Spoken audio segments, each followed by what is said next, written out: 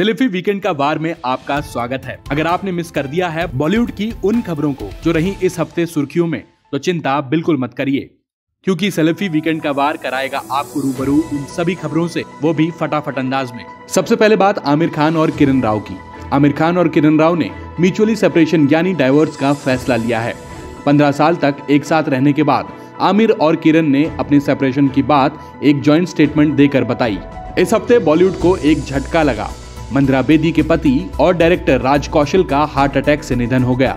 इस खबर से हर कोई शॉक में है।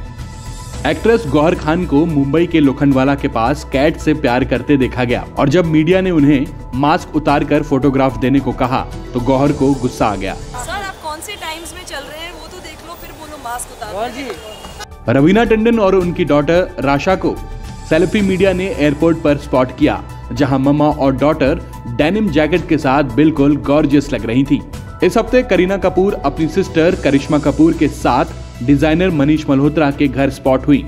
दोनों सिस्टर्स ने ब्लैक कलर कॉम्बिनेशन पहना हुआ था। करीना ने फ़िलहाल वेट गेन किया हुआ है, लेकिन जल्द ही वो फिट होकर बॉलीवुड में वापसी करेंगी।